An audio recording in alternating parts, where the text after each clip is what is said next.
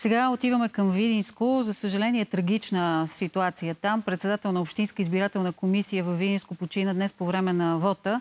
Биляна Борисова обобщава ситуацията в северо-западна България. Биляна към теб.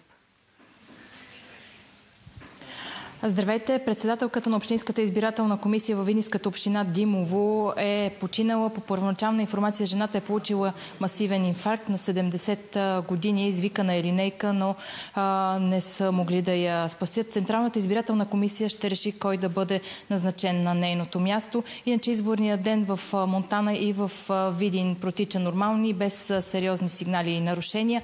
11 са кандидатите за кметския пост тук в община Видин. 279 пък искат да бъдат общински съветници. В деня за размисъл в Монтанско е образувано бързо производство срещу 63 годишен мъж от ромския квартал Раковица в Берковица. Човекът е склонявал да се гласува срещу пари. В него са открити списъци с изписани имена и пари срещу тях, както и 1000 лева по 50.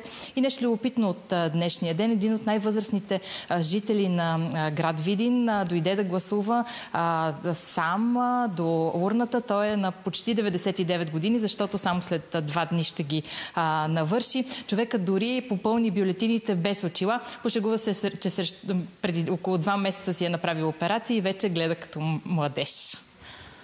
Благодарим. По-късно отново ще включим Биляна Борисова с информация за това как протича вота в северо-запад